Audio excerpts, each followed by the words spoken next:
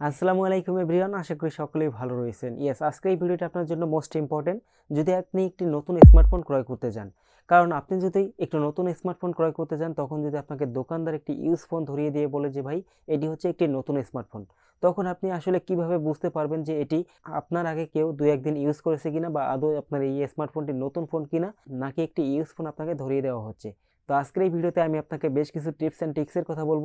আশা করছি এই tips and টিক্সগুলো যদি আপনি একটি নতুন স্মার্টফোন কিনতে গিয়ে লক্ষ্য করেন, তাহলে আপনি একদম একশো পার্সেন্ট নিশ্চিতভাবে বলতে পারবেন যে এই ফোনটি কি আসলে ইউজ করেছে কিনা আপনার আগে কেউ বা এই ফোনটি আপনার ইউজ ফোন নাকি নতুন ফোন তো চলুন সরাসরি দেখে নিচ্ছি পয়েন্টগুলো এক এক করে। তবে ছোট্ট একটি রিকোয়েস্ট করব, যারা এখনও আমাদের চ্যানেলটি সাবস্ক্রাইব করেনি প্লিজ চ্যানেলটি সাবস্ক্রাইব করে আর ফেসবুক পেজ হয়ে থাকলে অবশ্যই ফেসবুক পেজটি ফলো দিয়ে আমাদের সাথে থাকবেন।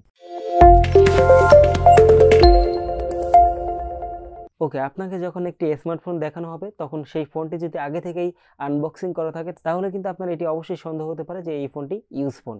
আর যদি ফোনটি আনবক্সিং করা না থাকে এবং কি আপনার সামনে যদি বক্সটি আনবক্স করা হয়, তাহলেও কিন্তু আপনার মাথায় সন্দেহ হতে পারে যে এই ফোনটি ইউজ ফোন। কেননা, এই বক্স করা কিন্তু মাত্র দুই মিনিটের কাজ। তো যাই হোক, এই ক্ষেত্রে আপনি যে বিষয়টি ফার্স্টে লক্ষ্য করবেন, সেটি হচ্ছে এই ফোনটির চার্জিং পোর্টের দিকে একটু লক্ষ্য করবেন। তাহলে আপনি দেখতে পাবেন, এই ফোনটিতে যদি চার্জার বেশ কিছুবার বা বলতে পারেন যে কয়েকবার ইউজ করা হয় তাহলে দেখতে পাবেন চার্জিং পোর্টের এই জায়গায় দুইটা লাইনের মতো তৈরি হবে।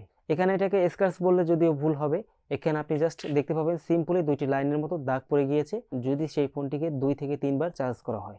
ওকে তো এরপরে আপনি দুই নম্বরে যে বিষয়টি লক্ষ্য করবেন, সেটি হচ্ছে ফোনটির কভার বা কেস ট্রান্সপারেন্ট সিলিকন কেস কিন্তু বেশিরভাগ সময় দেওয়া থাকে। তো সেই ক্ষেত্রে আপনি লক্ষ্য করবেন, এই কভার বা কেসগুলোর কালারটা কোনো দিকে শিফট করেছে কিনা। আপনি যদি লক্ষ্য করেন, তাহলে সিম্পলি দেখতে পাবেন যে, এই কভারগুলো কিন্তু জাস্ট তিন থেকে চার দিন ইউজ করলে একটু ইউলো টোনে চলে যায়। আই মিন কাভারটি কিন্তু একদম কালারটি চেঞ্জ হতে শুরু করে। এরপর আপনি যে বিষয়টি লক্ষ্য করবেন, এর সাথে সাথে ফোনটি যদি একটু দীর্ঘদিন ইউজ করা হয় সাপোজ মনে করতে পারেন এখানে দশ থেকে পনেরো দিন বা তারও অধিক সময় যদি ইউজ করা হয়, তাহলে আপনি দেখতে পাবেন কভারটি ইউজ করার ফলে ফোনের সাইডে কিছু স্ক্র্যাচ বা দাগ পড়ে যেতে পারে। সেটি কিন্তু অবশ্যই খুবই সামান্য পরিমাণে হবে।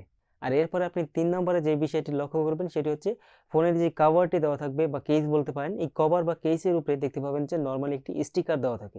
অনেক ক্ষেত্রে এটি নাও দেওয়া থাকতে পারে, তবে হ্যাঁ আপনার অবশ্যই যেই ফোনটি আপনি কিনতে যাচ্ছেন, সেই ফোনটির উপরে কিন্তু একটি স্টিকার বা একাধিক স্টিকার কিন্তু লাগানো থাকবে অবশ্যই। হ্যাঁ বর্তমান সময়ের সকল স্মার্টফোনগুলোতে কিন্তু এটি অবশ্যই দেখা যাচ্ছে। তো আপনি এখানে একটু ভাবুন, তাহলে কিন্তু বুঝতে পারবেন, যখন কেউ একটি ফোন কেনার পরে দশ থেকে পনেরো দিন ইউজ করবে, তখন কিন্তু সেই স্টিকারটা একটু ভাঁজ পড়ে যেতে পারে, অথবা কেউ কিন্তু সেই স্টিকারটির দিকে লক্ষ্যই করবে না স্টিকারটি অনেকে তুলে ফেলে দিতে পারে। এক্ষেত্রে কিন্তু অনেকে স্মার্টফোনে দেখতে পাবেন যে স্টিকার নাও থাকতে পারে। সেই ক্ষেত্রে আপনাকে আমি অবশ্যই বলব, আপনি কিন্তু এই স্টিকারের দিকে একটু লক্ষ্য রাখতে পারেন। ওকে তো এরপরে চার নম্বরে আপনি যে বিষয়গুলো লক্ষ্য রাখবেন, সেগুলো হচ্ছে বক্সটির ভিতরে কিন্তু অনেক সময় দেখা যাচ্ছে চার্জিং কেবল হ্যাঁ চার্জিং কেবল কিন্তু অবশ্যই দেওয়া থাকে সকল স্মার্টফোনগুলোতে যদিও চার্জার না দেওয়া থাকলেও চার্জিং কেবলটি আপনি কিন্তু পেয়ে যান। আর মিড রেঞ্জ বা লো বাজেটের ফোনগুলোতে কিন্তু আমরা চার্জিং কেবল সহ চার্জার পেয়ে যাই একদম অনায়াসেই।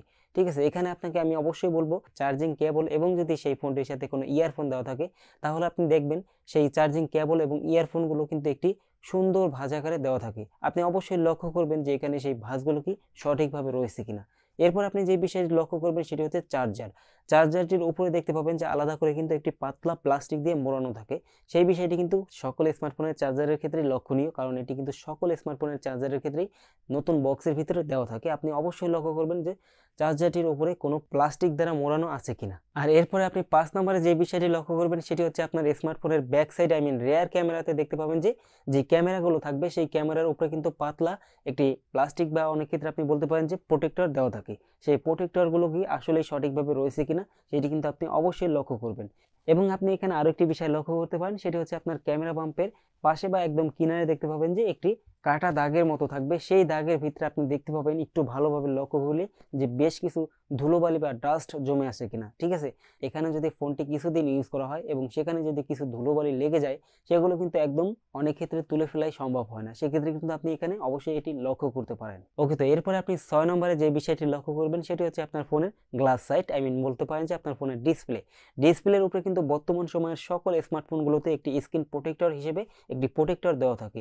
এবং আপনি এখানে অবশ্যই যে বিষয়টি লক্ষ্য করবেন সেটি হচ্ছে আপনার স্ক্রিন প্রোটেক্টরটা যে ইউজ করা হয়েছে বা রয়েছে যেটি আপনার স্মার্টফোনের ক্ষেত্রে, সেটি কি একদম ঠিকঠাক রয়েছে কিনা? স্ক্রিন প্রোটেক্টরের কাট আউটটা একদম ঠিকঠাক মাপের রয়েছে কিনা? কারণ আপনি যদি এখানে একটু লক্ষ্য করেন বা ভাবেন, তাহলে বুঝতে পারবেন যখন একটি ফোন কেউ ইউজ করবে দশ থেকে পনেরো দিন, তখন সেই স্ক্রিন প্রোটেক্টরের উপরে কিন্তু কিছু স্ক্র্যাচ পড়ে যায়। বা আপনি বলতে পারেন, আপনার সামনে আবার যখন সেই ফোনটি নতুন বলে বিক্রি করা হচ্ছে, তখন কিন্তু সেই ফোনটির অরিজিনাল যে স্ক্রিন প্রোটেক্টরটা সেই স্ক্রিন প্রোটেক্টরটা থাকে না, নতুন করে একটি স্ক্রিন প্রোটেক্টর অনেক ক্ষেত্রে দিয়ে দিতে পারে, আবার অনেক ক্ষেত্রে নাও থাকতে পারে, সেই ক্ষেত্রে কিন্তু আপনি সন্দেহ করতে পারেন। আর যদি থেকে থাকে তাহলে আপনি অবশ্যই লক্ষ্য করবেন যে সেই স্ক্রিন প্রোটেক্টরটার কাট আউট কি একদম ঠিকঠাক মাপে রয়েছে কিনা। ঠিক আছে, এখানে আপনাকে কিন্তু নিখুঁতভাবে বিষয়টি লক্ষ্য করতে হবে। আর আপনাকে আমি এই ক্ষেত্রে বলব, আপনি যদি এখানে অবশ্যই সন্দেহ করে থাকেন যে স্ক্রিন প্রোটেক্টরের কাট আউটটা ঠিকঠাক নেই, তাহলে আপনি অন্য কোনো ব্র্যান্ড শপ থেকে আপনার স্মার্টফোনটির ওই মডেলের স্ক্রিন প্রোটেক্টরের আই মিন ওই মডেলের ফোনগুলো দেখে আসতে পারেন, তারপরে কিন্তু আপনি সঠিকভাবে সিদ্ধান্ত নিতে পারবেন। আর অনেক ক্ষেত্রে দেখা যাচ্ছে এখানে স্ক্রিন প্রোটেক্টরের উপরে বা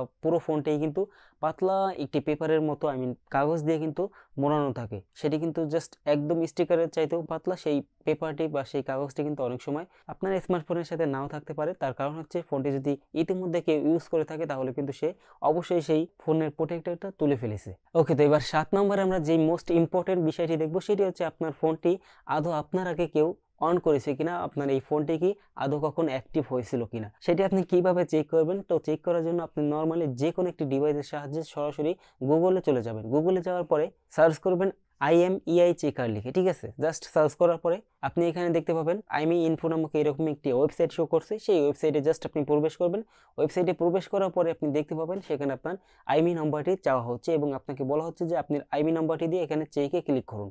তো আপনি সিম্পলি যেই ফোনটি কিনতে যাচ্ছেন, সেই ফোনটি ডায়াল প্যাডে চলে যাবেন আইমি নম্বরের জন্য।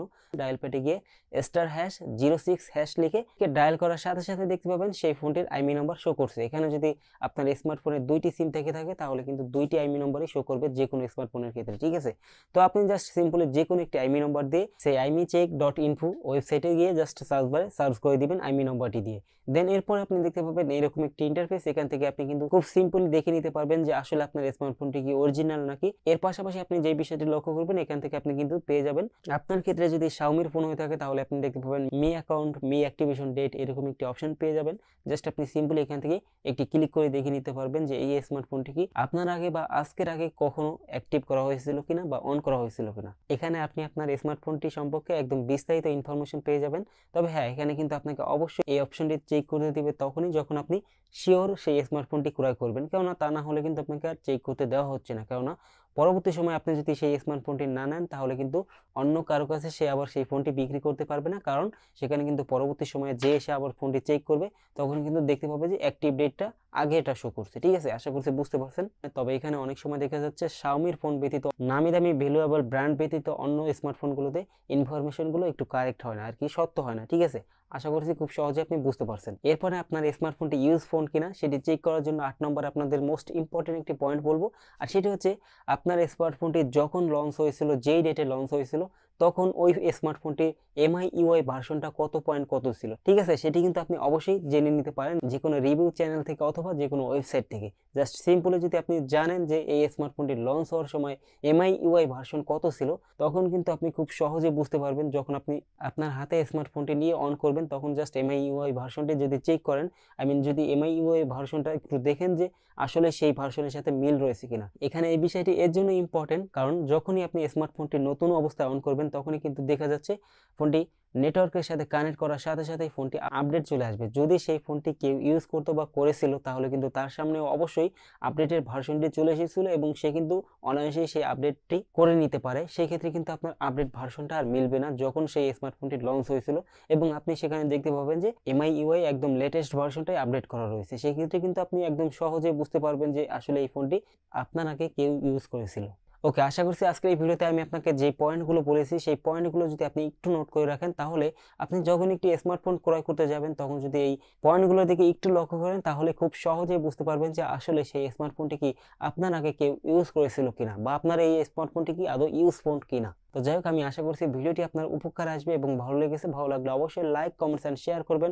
যারা এখনও আমাদের চ্যানেলটি সাবস্ক্রাইব করেনি প্লিজ চ্যানেলটি সাবস্ক্রাইব করে আর ফেসবুক পেজটি ফলো দিয়ে আমাদের সাথে থাকবেন। কেননা এরকম ইম্পর্টেন্ট ভিডিও কিন্তু আমাদের চ্যানেল থেকে ও ফেসবুক পেজ থেকে প্রতিনিয়তই আপলোড হয়ে যাচ্ছে। সো অবশ্যই সাবস্ক্রাইব ও ফলো দিয়ে আমাদের সাথে থাকুন। আবারও নতুন ভিডিওতে দেখা হচ্ছে।